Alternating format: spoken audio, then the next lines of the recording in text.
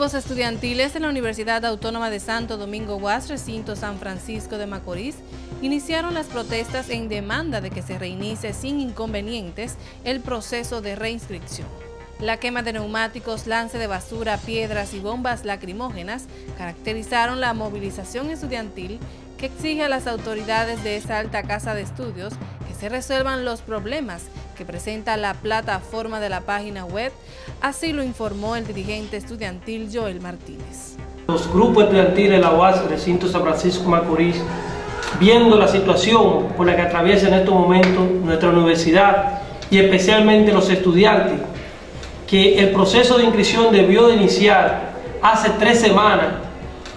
para los que ya estamos matriculados y el proceso de admisión para los nuevos ingresos debió iniciar aproximadamente hace cuatro semanas. Nosotros creemos que es una irresponsabilidad por parte de las autoridades que no han podido solucionar este problema, ya que nuestra página de la UAS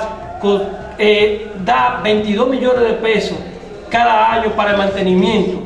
y que cada año en el proceso de selección de materia estos problemas se presentan. En estos momentos el problema se presenta mucho más grave porque las autoridades no tienen respuesta para el estudiantado que viene a buscar su materia, a, ser profesional en el día de mañana y debido a la situación que atraviesa nuestra página, entonces no podemos inscribir.